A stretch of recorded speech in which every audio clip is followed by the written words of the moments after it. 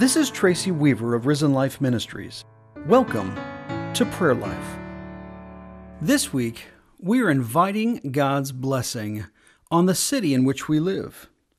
In the Old Testament book of Psalms, Psalm 127, verse 1 says, Unless the Lord builds the house, those who build it labor in vain. Unless the Lord watches over the city, the watchman stays awake in vain. The principle of Scripture is that our cities are vulnerable unless God is the one who's providing the protection.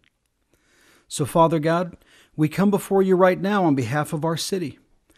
Lord, there are those who would want to destroy our city from the inside or from the outside, and we realize that our protection, our safety is ultimately in you. And so we seek your provision, your protection, your blessing on our city.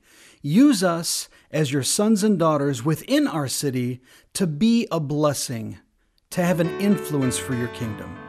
We invite your protection and your blessing in Jesus' name. Amen.